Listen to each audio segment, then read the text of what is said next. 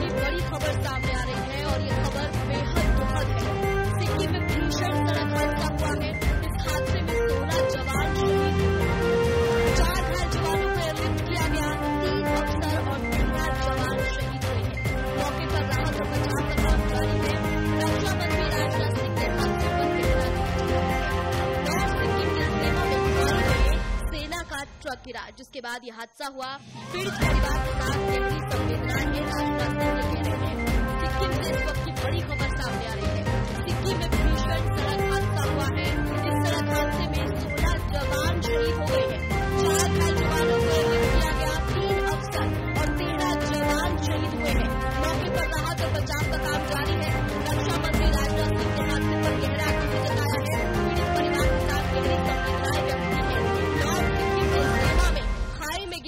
सेना का ट्रक बड़ी खबर इस वक्त सिक्किम से मिल रही